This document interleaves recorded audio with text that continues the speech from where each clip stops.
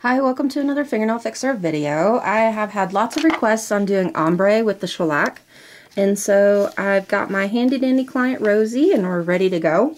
I have polished the nails with one coat of ice vapor and cured that for two minutes. Now I'm going to do ombre on one nail using a sponge technique. This is just a piece of makeup wedge that I, as you can see, constantly tear pieces off of. So I'm just going to tear two small pieces off the wedge. This piece came off pretty good size, so I'm just going to tear it in half.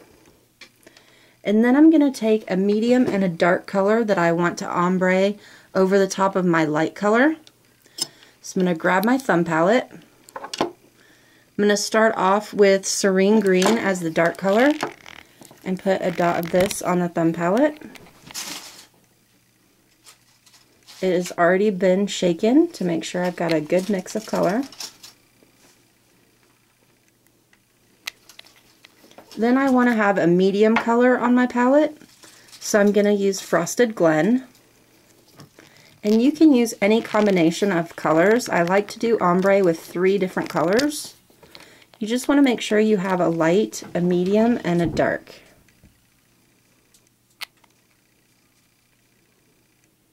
Now that I have some of the medium and dark on my palette, I'm ready to pick up my sponge and apply it to the nail. Make sure when you pick up your sponge that you kind of smush it together and don't have a flat side. So as I picked that up, it kind of gave me a flat edge, so I'm going to pick it up from the other side. And now you can see I've got a really textured edge. Press it into the dark color but then come over to the side and tap the excess out so you don't have too much on the sponge. Then I'm going to go in and just tap the darker color across the back. Or if you wanted to go from tip, the darkest at the tip, you could of course start with the dark at the tip. I'm just going to kind of randomly bring it down in a few places so that it doesn't look like a stripe, it's more staggered. Then I'm going to set that sponge down and pick up a sponge to do the medium color, making sure that I've got a textured edge. Dip it into the medium color and tap the excess off. Then just tapping the sponge across the center of the nail to give me my medium color. That way you have a really nice ombre from a super dark green to a medium dark green to a, a natural sparkle. This would be ideal if you have a client going on a trip for the holidays or so, something similar to that. You could have the lightest color at the back so that the outgrowth wasn't as noticeable.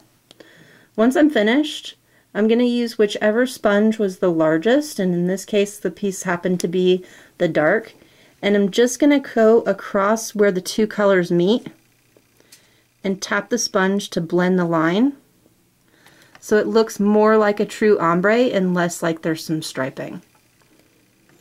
You would cure this in top coat and it would be done. I'm going to pull out the other nail that I have the ice vapor cured and show you how to ombre with a gel brush. So I'm just going to quick pull a brush out of my case. This is just the square gel brush from CND. And let's go ahead and start the dark at the tip just to show you both techniques. In this case, I'm actually going to start with the medium. So I'm just going to work some into the tip of my brush.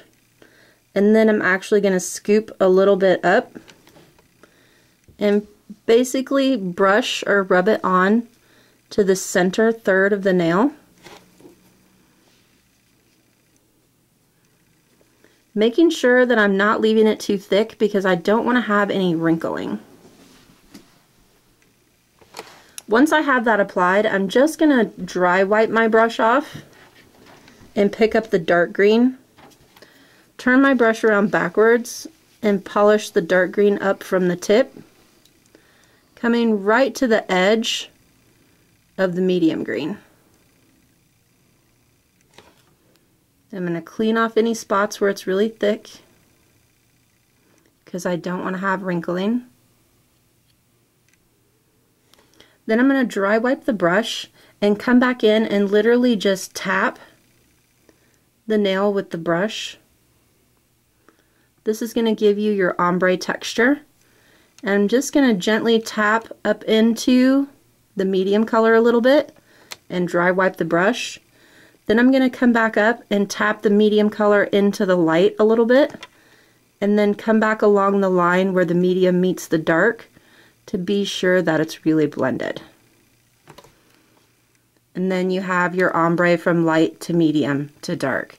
And again, this can be done with any combination of colors as long as you're going light to dark or dark to light.